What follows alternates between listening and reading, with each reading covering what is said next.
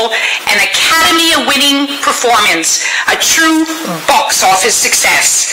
Ladies and gentlemen, welcome the United Nations Messenger of Peace, Michael Douglas.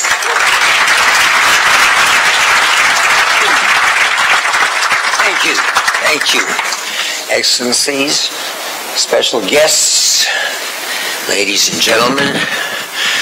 Well, I guess as far as this lunch is concerned, I'm the last man standing. it's, a, uh, it's a privilege to be a part of what I believe is an increasingly important task. Sewing together the many actors who make up the fabric of the 21st century, to work together for the noblest of causes, in a more peaceful and prosperous world. And it's fitting that today's event commemorates the great Nelson Mandela.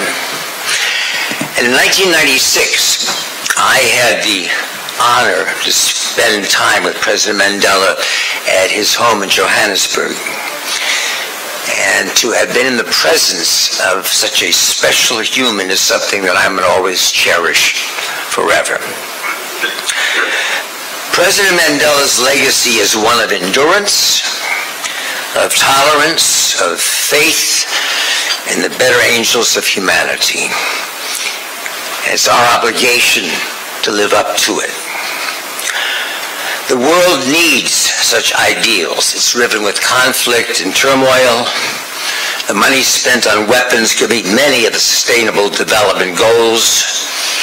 We hear dangerous rhetoric not heard since the darkest days of, of the Cold War.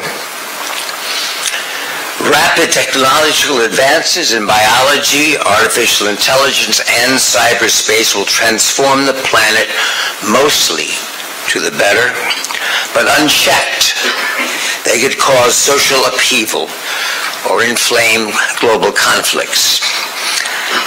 The private sector has a special role to ensure that its creations are not used maliciously or for unintended purposes that cause harm.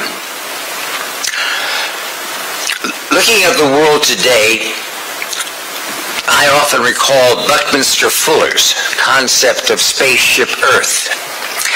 And as he said 50 years ago, quote, we are not going to be able to operate our spaceship Earth successfully, nor for much longer, unless we see our fate as common. End of quote. Mars is a fragile planet. It should be cherished not tainted by conflict. And in the United Nations, we have the organization best placed to pursue global peace. I am heartened by today's discussion and that so many here are willing to champion their cause.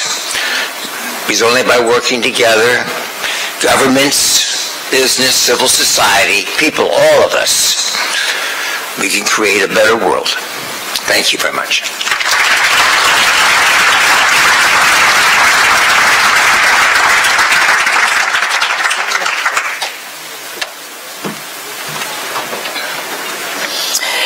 Ladies and gentlemen, I've seen people looking at their watches. Bravo!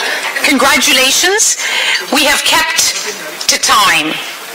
Now, most importantly, you have to keep your commitments.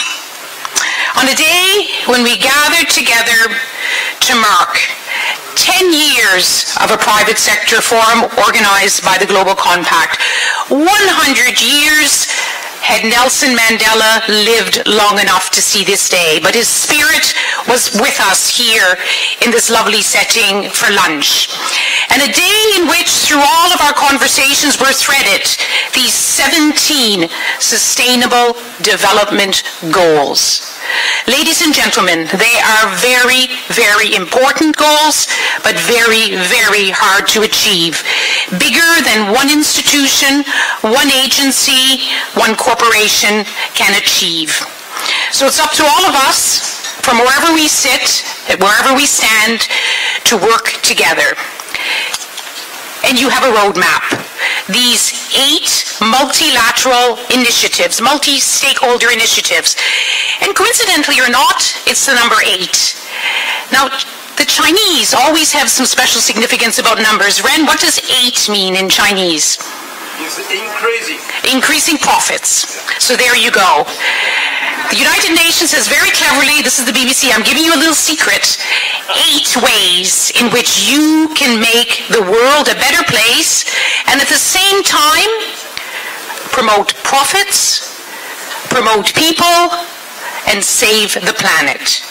Ladies and gentlemen, please, let's thank all of us for coming here today. Go well into, back into your worlds, and when you come back next year, may you be able to say that 365 days later, the world is a better place. Thank you very much.